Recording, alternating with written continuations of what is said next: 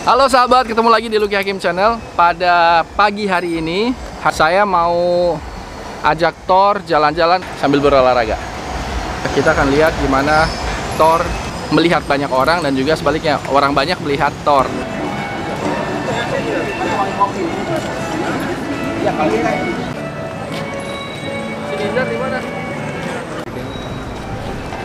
Bang, ikut lah.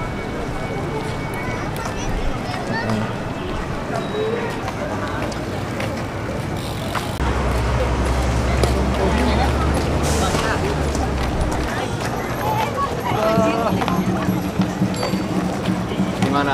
Suruh ke mana ya?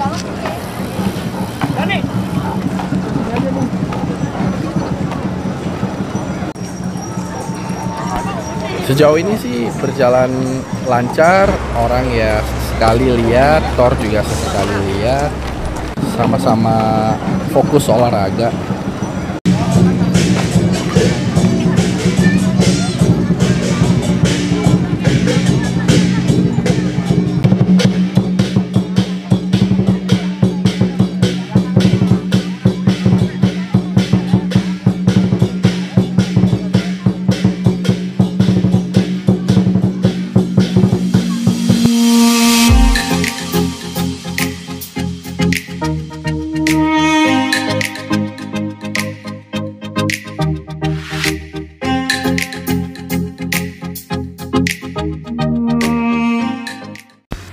Jadi di kesempatan kali ini saya ya bisa sedikit menunjukkan lah bahwa anjing yang dikasih makan daging mentah atau tulang, daging kambing, daging ayam mentah bukan berarti serta-merta jadi anjing galak dan bisa saya buktikan bahwa dia sangat friendly sama orang-orang yang nggak dikenal bahkan sama anak kecil sekalipun.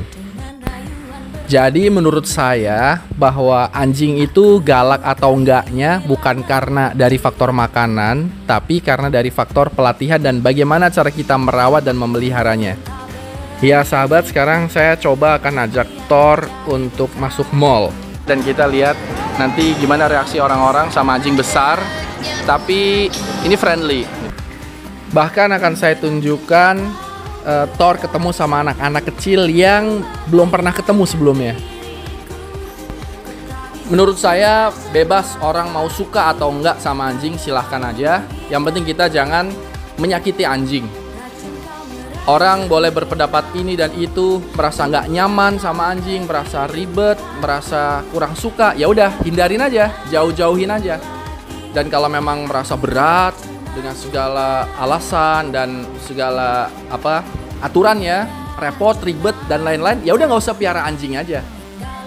Tapi kalau misalnya kita memutuskan untuk piara anjing dengan segala konsekuensinya, misalnya kita bukan cuma sekedar mampu belinya, tapi kita harus menyediakan kandang yang benar, makanan, perhatian, waktu dan banyak lagi. Silahkan orang berpendapat apa, tapi kita tahu apa yang kita lakukan dan kita tidak mengganggu orang lain kita nggak usah pusing sama omongan orang lain karena sebagus apa pun kita, kita tidak mungkin bisa memuaskan semua orang. Karena apa? Karena kita bukan alat pemuas. Lakukan apa yang ingin kita lakukan dan segala konsekuensinya akan kita tanggung sendiri. Terima kasih sahabat udah nonton video ini. Semoga terhibur dan bermanfaat. Salam.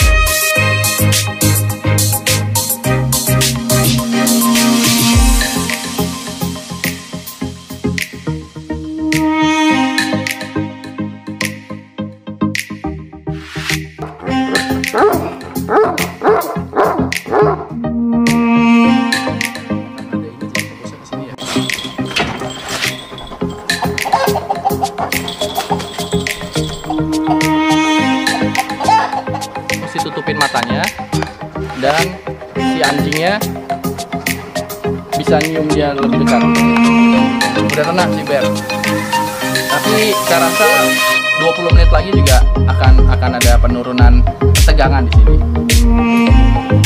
Oke kita cut dulu. Nanti kita akan lanjut 20 menit lagi